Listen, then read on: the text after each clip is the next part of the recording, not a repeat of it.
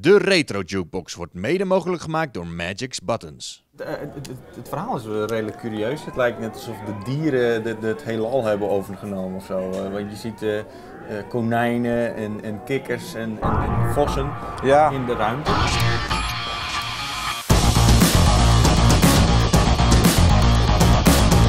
Welkom bij een nieuwe aflevering van de Retro Jukebox. En zoals beloofd de vorige keer toen we Super Mario World speelden, Jirin en ik gaan Star Fox spelen. Op de SNES, ehm, Star Fox komt een eh, reboot aan hè, dit jaar. Ja, Of is het een reboot, remake? Wat is het daar? eh, een nieuwe Star Fox. Lijkt een beetje op het oude, maar er zitten wel behoorlijk wat nieuwe dingen in.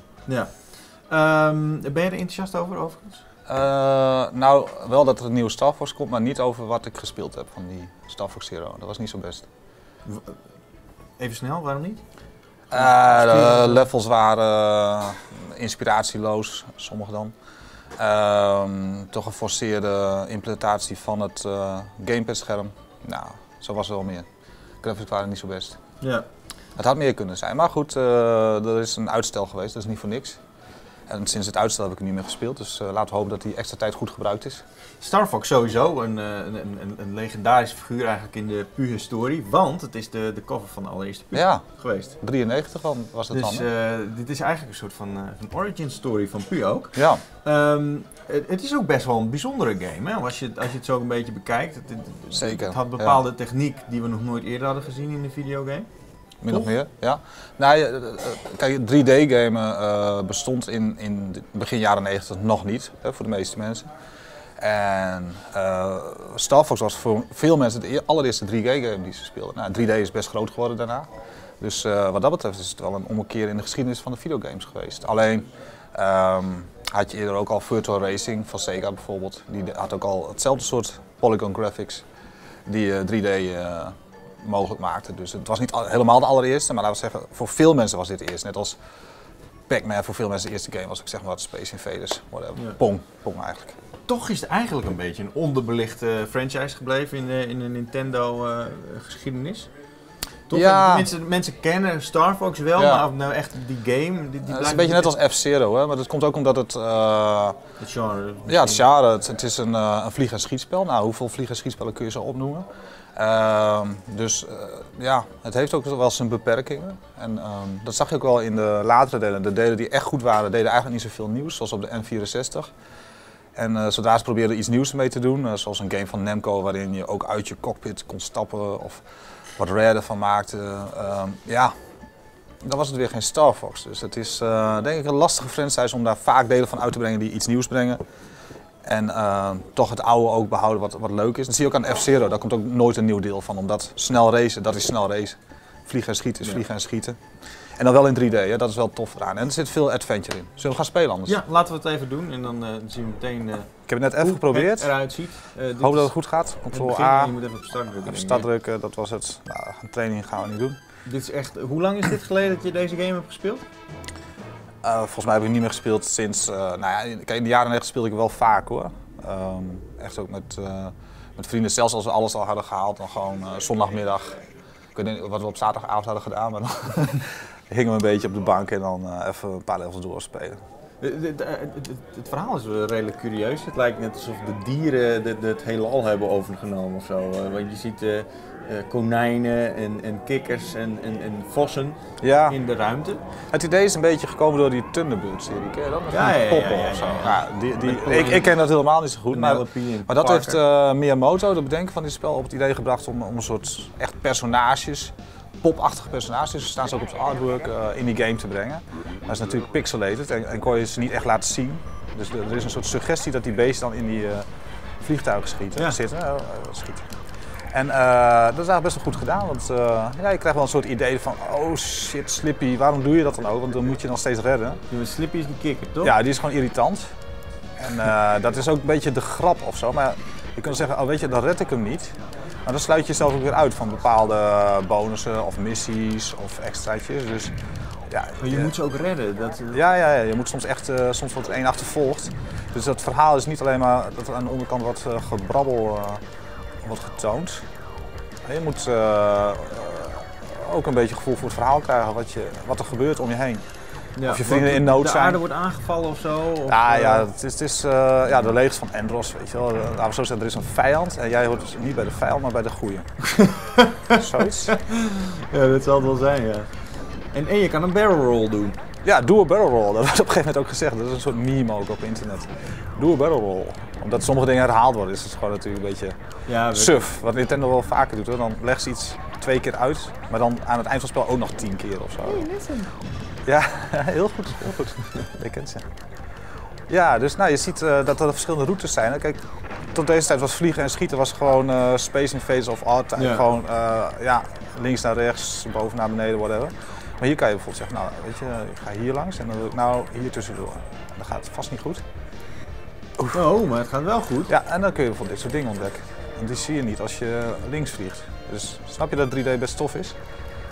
Nou, ik, ik, ik snap heel goed dat dit een, eh, een redelijke noviteit was. Ja, de- toen was dat echt wel ook zo, oh je gaat helemaal de diepte in, weet je. je, je- Ja. Mensen die nu eventjes snel kijken, die denken van, nou, het, het ziet er niet Ziet uit, en nee. bla bla bla. Dat, dat is ook zo. Het is ook wel grappig hoe ze diepte proberen te creëren door eh, de bepaalde objecten gewoon een ander eh, shade of een kleur te Ja, geven. ja, ja. Het, is, het is kaal, maar toch zitten er ook, ja, ook die, die textures, die, die explosies dan toch suggereren en zo. Het, het- ze hebben er wel echt alles aan gedaan om je het gevoel te geven dat je daar bent en daar vliegt. Je gaat automatisch vooruit trouwens. Dat eh, is misschien niet helemaal duidelijk als je het niet speelt.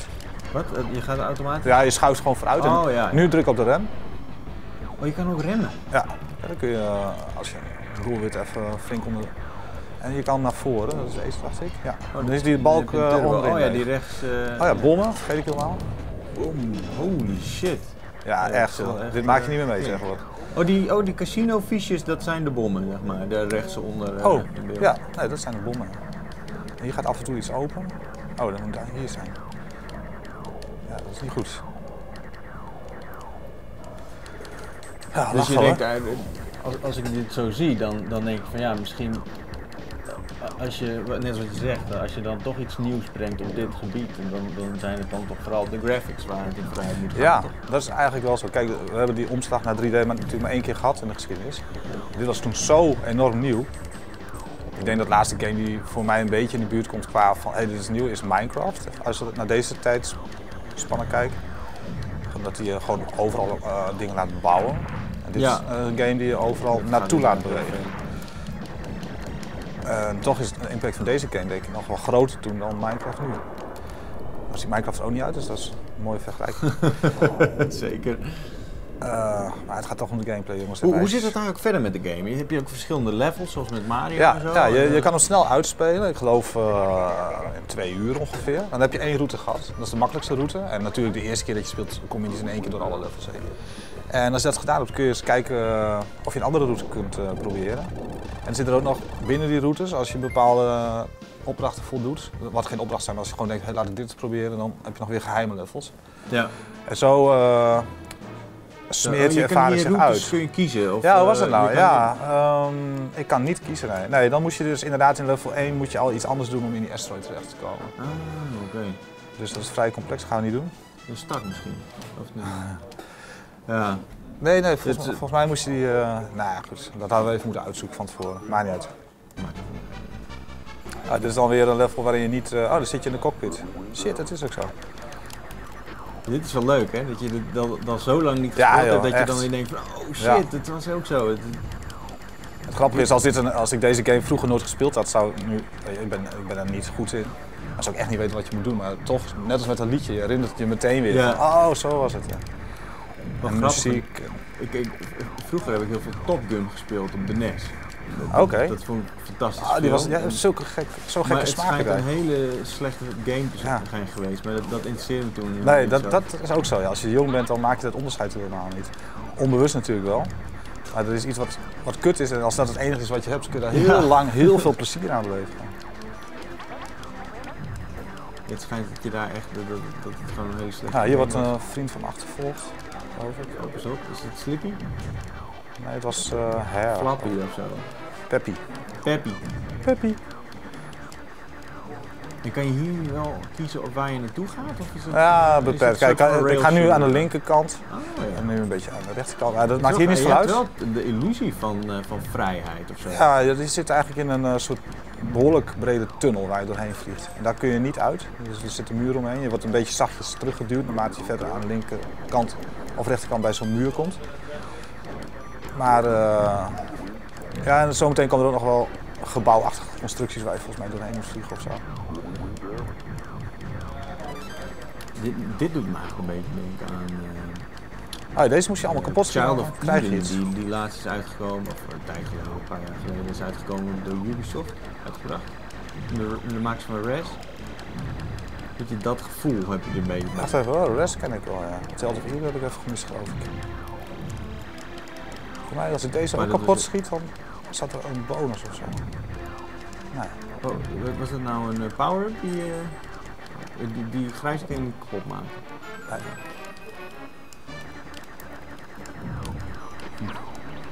Get lost you find.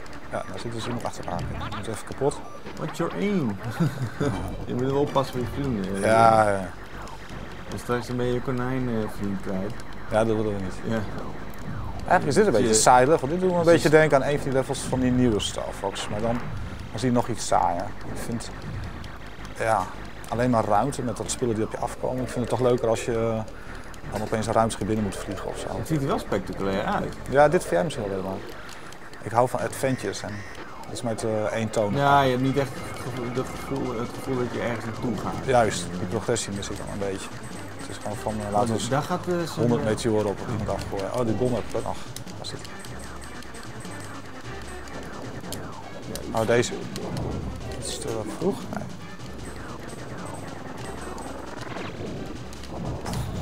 Yeah.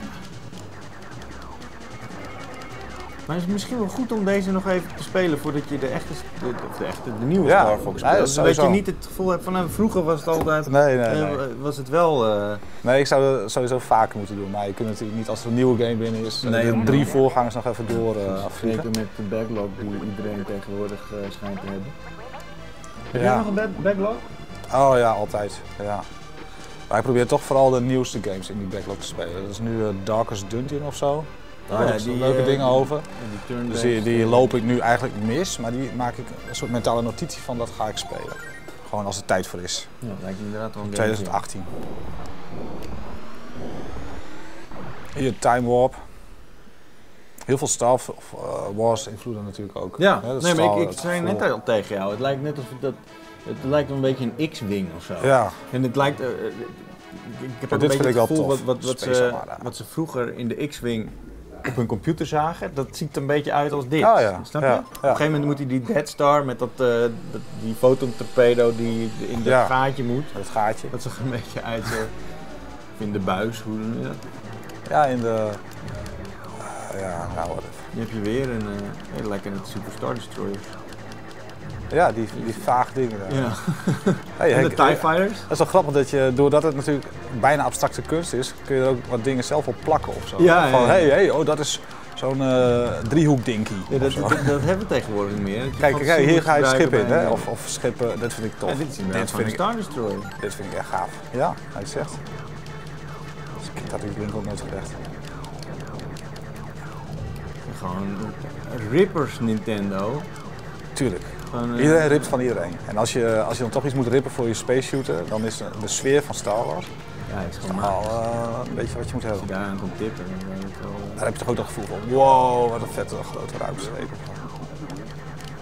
Ik weet niet eens op moet schieten hier. Het gaat wel kapot. Zo. Hoe lang is dat geleden? 1992? Dat is inmiddels eh 24 jaar geleden. Ongelooflijk. Wie er toen een B was, toen ik dat zat te spelen op zondagmiddag. Ja, ik was toen eh 22. Ja, ik ben, wel- Dat moet bijna een beetje deprimerend voor jou ja, want ik stop zo met gamen en snij mijn strot door. Dat is niet normaal. Woehoe. Maar eigenlijk, als je dit zo ziet, dan heb je niet het gevoel van... Goh, ik, ik- ben nu flink aan het bonden met Star Fox. Flink aan het? bonden. Ja, ik ben, wel, in, eh, ik, ben, ik, vind- ik ben een enorme Star Fox fan. Je Jawel. relatie met de- het, het, het figuurtje Star Fox. Oh, zo. Nee, dat klopt, ja. ja. Het is ook de titel. Kijk, daar ga je erin. Dat vind ik zo gaaf. Kijk dan. Oh, oh. Dit is mooi. Dit vind ik gaaf. Dit is ook in 3D natuurlijk voor het eerst dat je dit soort dingen moest doen, weet je wel. Oh ja, dit is heel Dat kun je in, tof. twe- in 2D, eh, ja. Dit is zeg maar dat het anders. inverted, waar, waar mensen aan de inverted zijn begonnen. ja. Volgens mij had Gladys daar laatst over. Dat, dat, oh nee, dat was met... Nee, maar, Kijk dan. GoldenEye, dat hij daar, daar werd. Maar slim dat ze zo'n draadfiguur van hebben gemaakt. Hè? Dan raak je het oogzicht niet kwijt. Dit raak je de draad niet kwijt. Heerlijk. Ribbit, thanks for the save. Oh, Ribbit, dat is heel zin. Ribbit. Nou, Nou, nou ik, eh, ik blijf zin slot houden in, in. de nieuwe eh, Star Fox hoor. Alleen moest gewoon constateren dat hij eh, niet heel erg goed was. En, Nee. en veel dingen toevoegde die eh, meer afleiden van de ervaring dan nieuwe spelvreugde met zich meebrachten. Dus we gaan het zien. Hij is eh, aangepast. Ook omdat er veel neg- negatieve reacties op kwamen. Dus eh Oké. Miyamoto zelf vond het ook niet zo goed. Nee? Hij is gemaakt door eh, die mensen van Bayonetta, help me. Platinum, Platinum Games, ja. Platinum Games. Ja, dus, eh, Nou ja, uiteindelijk moet dat zijn hele, hele, hele goede ontwikkelaars. Maar of ze ook een hele goede Star Fox kunnen maken. Laten we ervan uitgaan dat eh, op het moment dat eh, Nintendo zich toch mee bemoeit, dat het dan toch eh, Ja, hopelijk wel Geeft wel meer hoop. toch? Ja. Eh, dit was de Retro Jukebox voor vandaag. Eh, we speelden Star Fox op de SNES en ehm, dat was hem ook voor vandaag. Bedankt voor het kijken. Tot de volgende keer. Dan zijn we natuurlijk weer bij de nieuwe retro game. Doei! De Retro Jukebox werd mede mogelijk gemaakt door Magic's Buttons.